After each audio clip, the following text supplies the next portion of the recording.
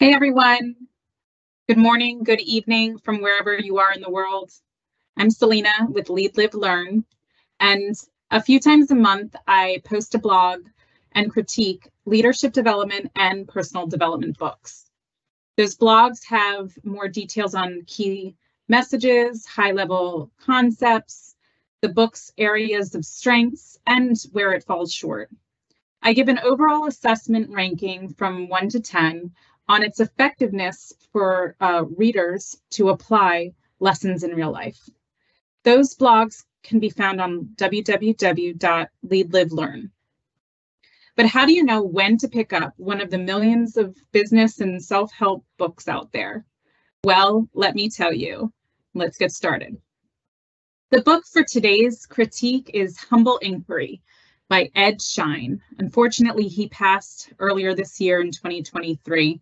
He was 94 years old, but he was a giant in the field of organization development. So when do you pick up Humble Inquiry? If you are interested in how to listen better and how to ask questions you don't know the answer to.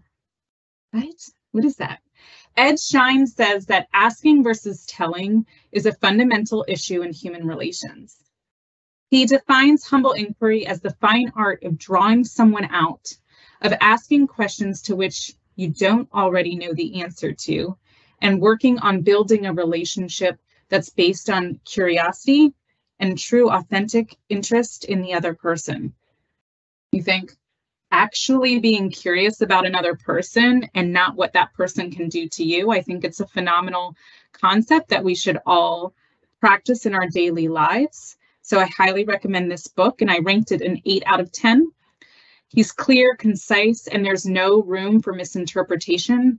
However, there are seven facets to his framework, three different kinds of humility, and four different types of inquiry to make humble inquiry. And so that can be hard to remember sometimes.